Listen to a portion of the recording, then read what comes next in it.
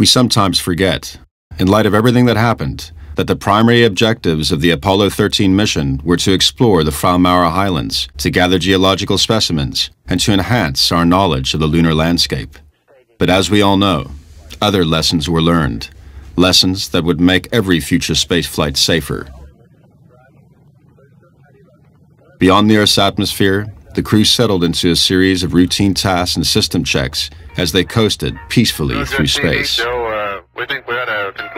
From here now. Uh, Apollo 13, we, everybody there. On the 13th of April, right after the crew had conducted a live TV broadcast, disaster struck.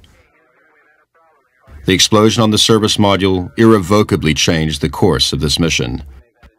To conserve power, the crew had to shut down all of the ship's systems.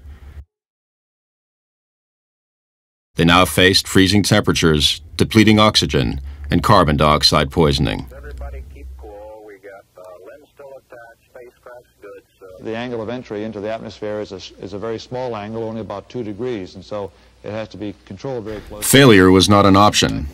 The astronauts had to rely on their Speedmaster chronographs to time the mid-course engine burns that ensured their safe re-entry into the Earth's atmosphere.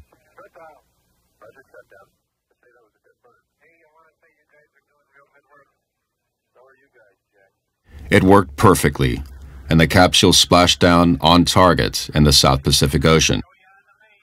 The mission was dubbed a successful failure. It demonstrated what could be achieved through teamwork and ingenuity. For its role in enhancing the probability of mission success and flight safety of the Apollo missions, Omega was presented the coveted Silver Snoopy Award in October of 1970.